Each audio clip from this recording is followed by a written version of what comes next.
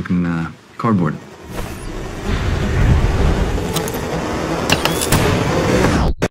Sell cardboard boxes. I thought I'd always be a spy. Despite the occasional heat, life was pretty carefree. Until I met you. So you can't wait to go out, assume your cover, sell cardboard boxes. Don't hesitate to call back and ask for cardboard Corey. Welcome to the team. Well, let's knock him down and knock him back. What are you gonna tell me next? That you like drinking domestic beer? I love domestic beer. God, I hope it stays like this forever.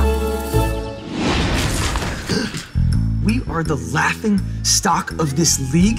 Without stools, where's everyone going to congregate at the dinner party? What dinner party? Corey. What? We're going to have a lot of dinner parties. We are?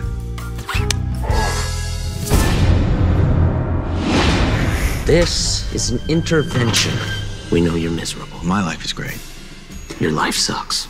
Egan's back. We believe he's trying to acquire plans for a weapon. We've arranged for you to come back for this one mission. You want me to pretend to be married to someone else? It's your job to hook up with her. Oh, it's happening. He's having an affair.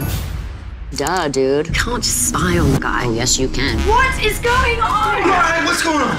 You are not ruining my dinner party just because our marriage is over. Hey, everybody.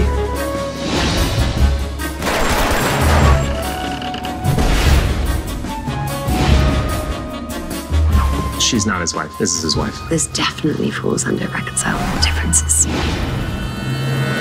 Who wants a nightcap? Oh my god. Don't you know I'm crazy? Don't you know I'm crazy?